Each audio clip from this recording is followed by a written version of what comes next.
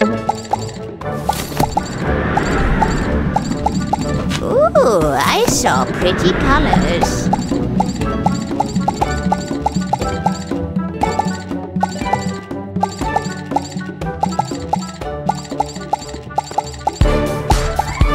I'm Bat Gran.